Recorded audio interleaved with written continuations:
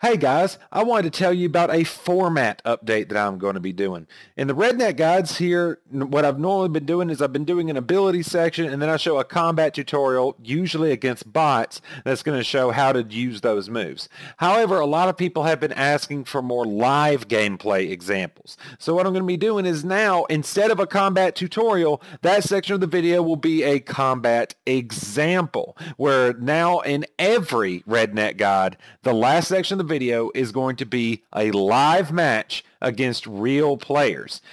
I'm going to be moving. However, I still think it is useful to show the combos for those moves in a controlled environment. So what I'm going to be doing is now in the ability section of the video, I'm going to be I'm going to insert clips that show how to do certain types of combos with guys and how to use their abilities most effectively. That will be moved to the ability section. Maybe not on every ability if they're super simple, but for some of the more complex abilities or if there's interesting combos with those abilities, I'm going to show how to do that in the ability section just so you can get an idea of what it looks like and how it operates.